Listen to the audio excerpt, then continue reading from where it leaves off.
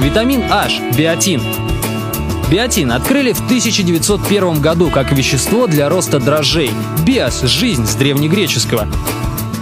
Витамин H выделили позже из яичного белка, когда заметили, что в сыром виде он вызывает у крыс болезни кожи, которые лечатся тем же белком, только вареным. Буква H досталась витамину от немецкого «haut» – кожа. Биотин часто называют витамином красоты.